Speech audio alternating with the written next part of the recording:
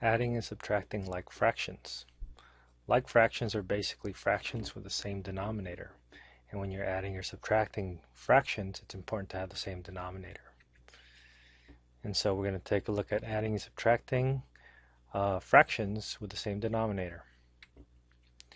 And here's the basic rule. We have uh, basically the numerators are added together and we keep the denominator. Unlike multiplication, we don't add or multiply the denominators, uh, but we do need to have the same denominators in order to add them.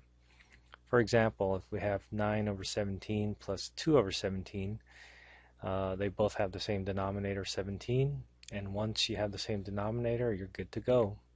Just add the numerators together, keep the denominator the same, 9 plus 2 is 11, so our final answer is 11 over 17. Subtraction is going to be the same thing. We have, uh, as long as we have the same denominator, we merely subtract the numerators and keep the same denominator. So 9 over 13 plus 5 minus 5 over 13. Uh, we take 9 minus 5 is 4, keep the same denominator 13.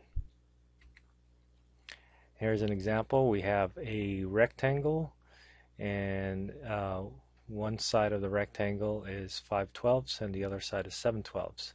We want to find the perimeter, so we want to add up uh, 5 twelfths plus 7 twelfths plus the opposite sides, another 5 twelfths and another 7 twelfths. So the perimeter is going to be given by the sum of those numbers, 5 twelfths, 5 twelfths, 7 twelfths, 7 twelfths, and because they all have the same denominator, it's easy enough to just add the numerators together.